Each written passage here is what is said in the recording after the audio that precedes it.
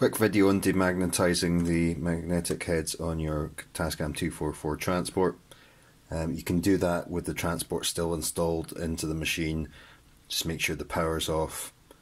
Find it slightly easier to do it with the transport separated from the chassis. Um, this is a simulation because this isn't actually plugged in just because I know it produces a lot of uh, electromagnetic gubbins which I'm not really sure what it's going to do to my phone but would have your transport here and you would have this about a meter away. Plug it in so it's turned on. Slowly bring it in and without touching it just wave the wand gently near the capstan and the magnetic heads. A few passes and then pull it back till it's about a meter away again and then you would unplug it. And that's your heads demagnetized